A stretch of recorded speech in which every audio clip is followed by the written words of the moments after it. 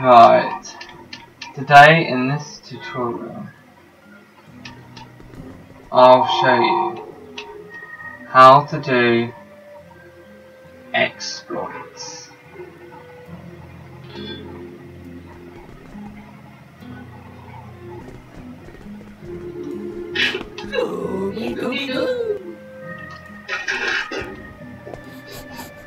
Why do you want to go first? Whoa! Oh!